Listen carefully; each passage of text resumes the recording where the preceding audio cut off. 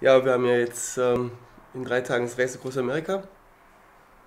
Ich nicht mehr, ich liege jetzt hier im Krankenhaus und es war schon ziemlich blöd, weil heute Morgen einfach die Entscheidung äh, gefällt werden muss, was machen wir? Zehn Mann sind schon unten, ähm, sechs Mann fliegen morgen jetzt äh, am Sonntag noch runter und ähm, es sollte der Solofahrer eigentlich das Race Across Amerika bestreiten. Und äh, Heiner hat dann mit mir gemeinsam dann überlegt ähm, oder kam zu der Überlegung, äh, wie wäre es denn, wenn wir jetzt nicht dich als Solofahrer starten lassen, sondern wenn das Team, was dich eigentlich versorgt, äh, versucht, das, äh, die Strecke zu bewältigen als Achterteam. Und das fand ich erstmal ziemlich bescheuert, weil ich mir gedacht habe, wie will man das in der kurzen Zeit eigentlich hinkriegen.